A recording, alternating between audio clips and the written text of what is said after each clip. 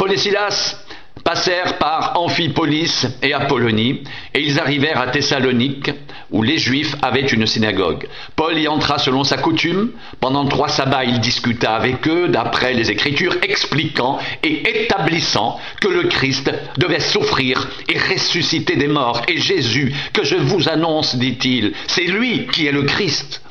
Quelques-uns d'entre eux furent persuadés et se joignirent à Paul et à Silas, ainsi qu'une grande multitude de Grecs craignant Dieu et beaucoup de femmes de qualité. Mais les Juifs jaloux prirent avec eux quelques méchants hommes de la populace, provoquèrent des attroupements et répandirent l'agitation dans la ville. Ils se rendirent à la maison de Jason et ils cherchèrent Paul et Silas pour les amener vers le peuple.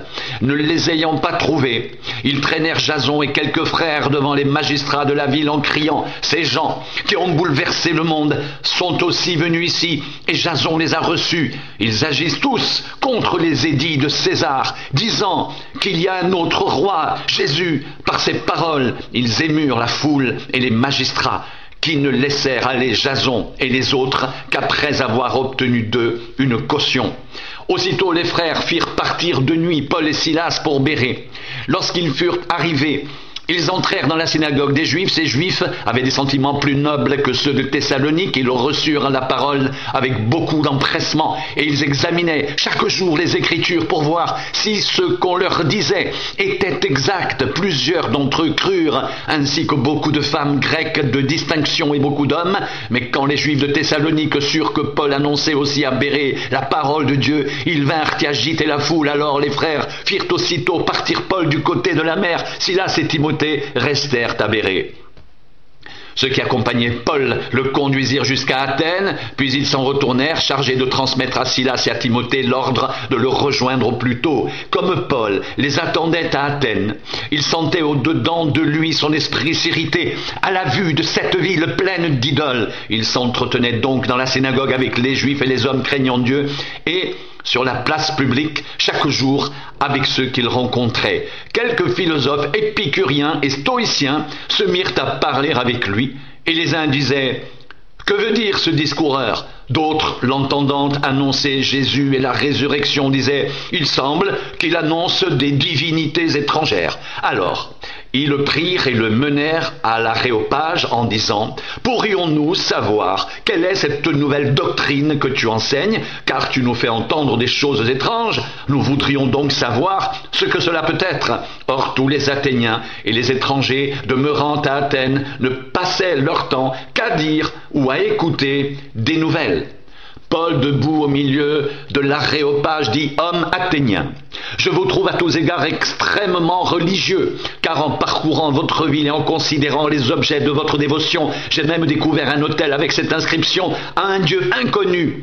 Ce que vous révérez sans le connaître, c'est ce que je vous annonce, le Dieu qui a fait le monde et tout ce qui s'y trouve, étant le Seigneur du ciel et de la terre, n'habite point dans des temples faits de mains d'hommes, il n'est point servi par des mains humaines comme s'il avait besoin de quoi que ce soit, lui qui donne la vie à tous, la respiration et toutes choses. Il a fait que tous les hommes, sortis d'un seul sang, habitent sur toute la surface de la terre, ayant déterminé la durée des temps et les bornes de leur demeure. Il a voulu qu'ils cherchent le Seigneur et qu'ils s'efforcent de le trouver en tâtonnant, bien qu'il ne soit pas loin de chacun de nous, car en lui nous avons la vie, le mouvement et l'être. C'est ce qu'ont dit aussi quelques-uns de vos poètes, de lui nous sommes la race. Ainsi donc, étant la race de Dieu, nous ne devons pas croire que la divinité soit semblable à de l'or, à de l'argent ou à de la pierre sculptée par l'art et l'industrie de l'homme. Dieu, sans tenir compte des temps d'ignorance, annonce maintenant à tous les hommes, en tout lieu, qu'ils ont à se repentir, parce qu'il a fixé un jour où il jugera le monde selon la justice par l'homme qu'il a désigné, ce dont il a donné à tous une preuve certaine en le ressuscitant des morts. Lorsqu'ils entendirent parler de résurrection des morts, les uns se moquèrent et les autres dirent Nous t'entendrons là-dessus une autre fois. Ainsi Paul se retira du milieu d'eux. Quelques-uns, néanmoins, s'attachèrent à lui et crurent Denis, réopagite, une femme nommée Damaris, et d'autres avec eux. Après cela, Paul partit d'Athènes et se rendit à Corinthe. Il y trouva un juif nommé Aquilas, originaire du Pont, récemment arrivé d'Italie avec sa femme, Priscille, parce que Claude avait ordonné à tous les juifs de sortir de Rome. Il se lia avec eux. Et comme il avait le même métier, il demeura chez eux et il travailla, il fabriquait des tentes. Paul discourait dans la synagogue chaque sabbat, et il persuadait des Juifs et des Grecs, mais quand Silas et Timothée furent arrivés de la Macédoine, il se donna tout entier à la parole, attestant aux Juifs que Jésus était le Christ. Les Juifs faisant alors de l'opposition et se livrant à des injures, Paul secoua ses vêtements et leur dit Que votre sang retombe sur votre tête, j'en suis pur, dès maintenant j'irai vers les païens. Et sortant de là, il entra chez un nommé Justus, homme craignant Dieu, et dont la maison était contiguë à la synagogue.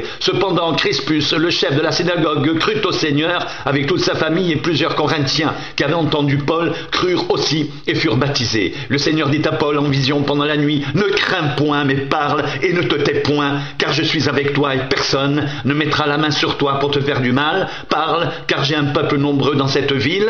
Il y demeura un an et six mois, enseignant parmi les Corinthiens la parole de Dieu. Pendant que Galion était proconsul de l'Achaïe, les Juifs se soulevèrent unanimement contre Paul et le menèrent devant le tribunal en disant cet homme excite les gens à servir Dieu d'une manière contraire à la loi. Paul allait ouvrir la bouche lorsque Galion dit aux Juifs s'il s'agissait de quelque injustice ou de quelque méchante action, je vous écouterai comme de raison aux Juifs, mais s'il s'agit de discussion sur une parole, sur des noms et sur votre loi, cela vous regarde, je ne veux pas être juge de ces choses et il les renvoya du tribunal. Alors tous se saisirent de Sosthène, le chef de la synagogue, le battirent devant le tribunal sans que Galion s'en mette en peine.